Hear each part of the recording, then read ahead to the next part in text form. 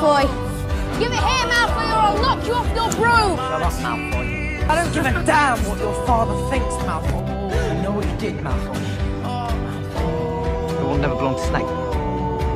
It was Draco.